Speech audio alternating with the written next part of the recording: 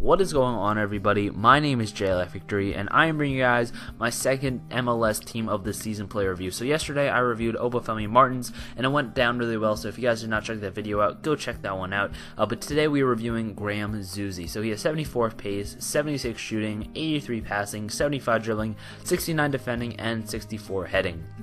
Picked him up for around 40k, selling him on for around 40k right now, and I imagine he'll probably settle around 20 to 30k because I think he is the lowest. Yeah, I, I think he's the lowest overall gold MLS team of the season player. He's only 76 overall, so he will be pulled a lot uh, during this weekend, especially this weekend when a lot of packs will be opened. So this guy, if you guys did not know, he was originally released as a central midfielder who was a 74 overall, but he got bumped up to a gold. Uh, I think because he has an inform that's a 74 overall. Uh, so, but he got bumped up to a gold. He was a central midfielder originally, but now he's a left mid.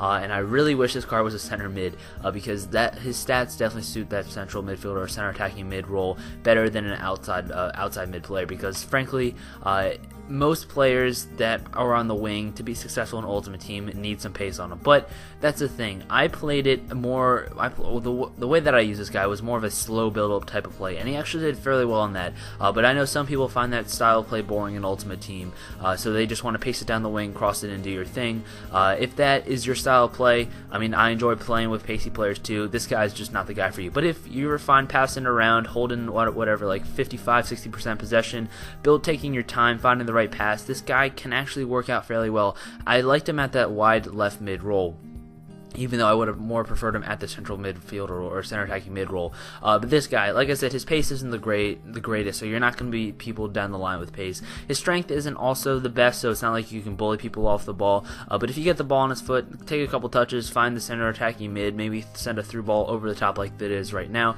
uh, to Eddie Johnson or any fast forward in the MLS or any American striker, uh, you can definitely be pretty successful with this guy. So this guy's shooting. Uh, the last two clips are some fantastic long shots. I must say, he this this guy has very good shot power, but his finesse shots were actually really disappointing in my opinion. He has something like 90 curve, and I missed two easy ones, uh, as you guys can tell on the screen, that I just thought I should have scored, but I just was not able to. He does have three star skill moves, so like I always say, if you do not have your three star skill moves down, definitely try to get those down because that's kind of what I did right there. I was I wasn't using any fancy fancy skill moves, so I was able to get down the line uh, just by doing some uh, step overs and stuff like that. You can definitely do that. Like I said, his passing definitely above average. Uh, I think what it says on his card is fairly accurate. Uh, he's no Iniesta or Xavi, but he doesn't have the worst passing in the world. He can definitely find a through ball. He can definitely find players' feet. He can switch the ball. He can do everything like that.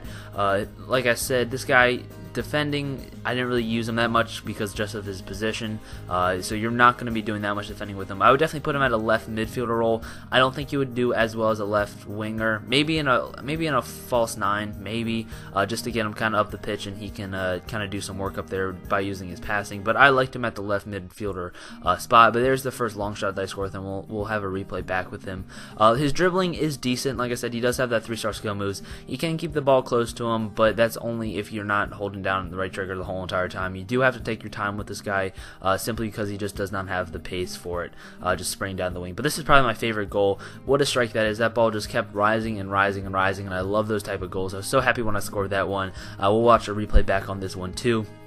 Uh, this, like I said, this guy's long shots are very, very good. He has 96 shot power, and it definitely feels like that. But overall, I give this guy a 6 out of 10, simply because of his position. If he was a center attacking mid, I think this guy would probably be like an 8 out of 10. Uh, but just because he's a left mid, that just that's just not his position for his stats. But I hope you guys do enjoy this video. If you're new, hit that subscribe button. We are closing in on 400 subscribers, so let's try to hit that before the end of the MLS team of the season.